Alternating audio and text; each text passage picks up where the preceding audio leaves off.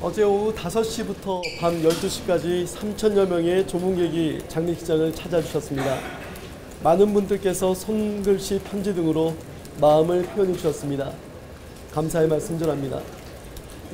노회찬 원내대표님의 살아생전 노동자 시민들과 언제나 함께했던 뜻을 받들어 정의당은 시민장례위원을 모시기로 어제 결정했습니다.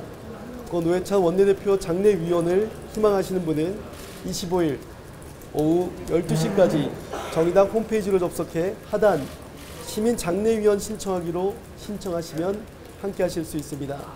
정의당은 고 노회찬 원내대표님 가시는 길이 외롭지 않게 남은 4일 동안 최선을 다해 모시겠습니다. 뭐 손편지들 좀 많은 뭐 분들이 써 주셨는데요. 몇 개 한번 소개시켜드리겠습니다. 사랑하고 존경했던 한 정치인을 이렇게 떠나보냅니다. 오늘 하루 뒤통수를 세게 한 대 맞은 것 같은 충격이 계속 있었습니다. 의원님 부디 영면하시기를 바랍니다. 그래서 사랑하는 사람들을 더 슬프지 않게 해주세요. 오늘은 처음으로 의원님이 밉습니다. 그래도 슬퍼도 정의를 위한 그 뜻을 이어가도록 대한민국 1인으로 노력하겠습니다. 당신 덕분에 따뜻한 세상이었습니다. 작은 목소리로 정의당을 노회찬 의원님을 지지했었는데 이렇게 황망하게 가시니 너무 안타깝습니다. 진작에 정치 후원을 좀 제대로 할 걸 얼마나 안타까운지 의원님은 가셨지만 정의당은 멈추지 말아야 합니다. 당신이 있어 행복했습니다. 멀리서 한번 뵙게 된 게 다지만 인사드리러 왔습니다. 부디 영면하소서 조직되지 못한 대시민 갖고 주신 세상 남은 사람의 몫을 기억하며 살겠습니다. 부디 자신을 용서하시고 영면하시기를 바랍니다. 그동안 노고 많으셨습니다. 감사하다는 말씀 너무 늦게 드립니다. 이거는 기자분이 쓰신 것 같은데요. 국회에 출입한 지 채 1년이 되지 않은 초임 기자입니다.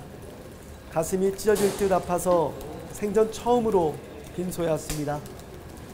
고인이 짊어진 무거운 책임감을 다시 떠올려 봅니다. 그 무게가 느껴집니다. 얼마나 고통스럽고 아팠을까요? 고인께서 던져준 화두를 공부하겠습니다. 세상을 바라보고 취재할 때 저절로 그의 목소리를 찾아보게 될 것 같습니다. 정의로웠던 46년간의 삶의 궤적을 기억하겠습니다. 가슴 깊이 애도드립니다.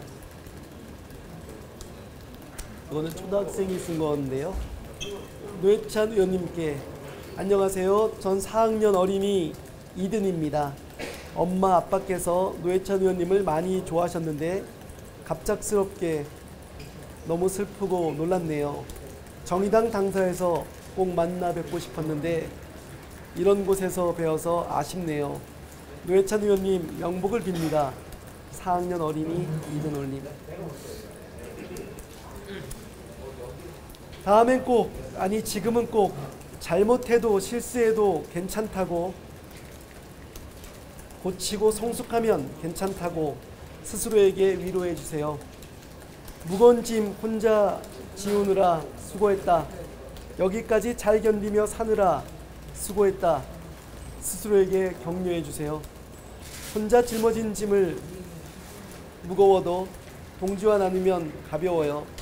다음엔 그렇게 오래오래 함께해요. 무거운 짐 짊어지게 해서 미안해요. 어려움을 외면해서 미안해요. 살아남은 사람들 노회찬 의원님 남기신 말씀대로 잘 해볼게요. 지켜봐 주세요. 네, 감사합니다.